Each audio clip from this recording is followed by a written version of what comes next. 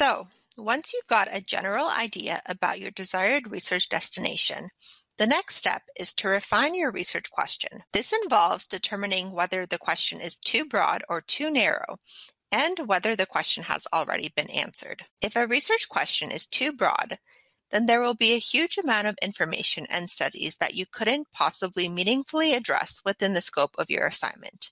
It's like saying you're going to see all of Europe in a week's vacation. If your question is too narrow, there will be little information for you to review and discuss in your assignment. This would be more like spending a month's vacation at the city park. Probably fun at first, but you'll run out of things to do pretty quickly. Finally, have you ever been to a super popular tourist attraction and it was so full of people that the experience was ruined? That's like picking a research question that has already been answered. The creativity and the originality of your work will be limited by the crowd of people already discussing the topic. In general, useful research questions have the following characteristics.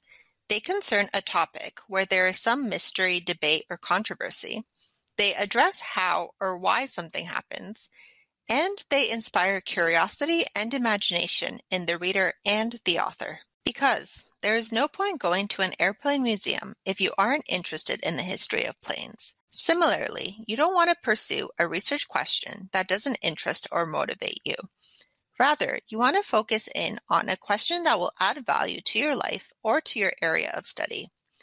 This will also make the research journey far more enjoyable. As you set out on your journey, there are some tools available to help you choose your research question. Concept mapping helps you explore a topic from every angle.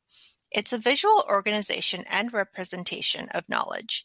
You create a concept map by writing keywords sometimes enclosed in shapes such as circles, boxes, or triangles, and connecting the ideas that are related.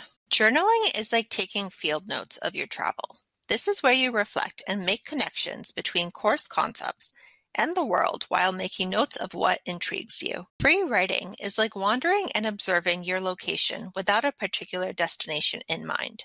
You start writing and see what comes without a specific aim. And finally, brainstorming is a bit like writing your travel bucket list.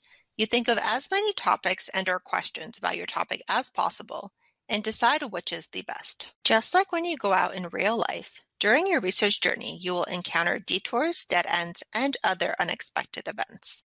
That's all part of the adventure. Research is a process that involves reflecting and refining. It's perfectly normal for your research topic and question to change based on the background information and, academic studies you find.